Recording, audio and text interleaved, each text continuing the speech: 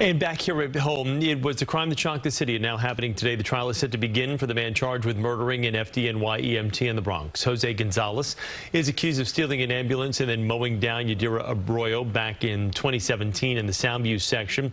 Prosecutors say a toxicology report shows Gonzalez tested positive for PCP and marijuana.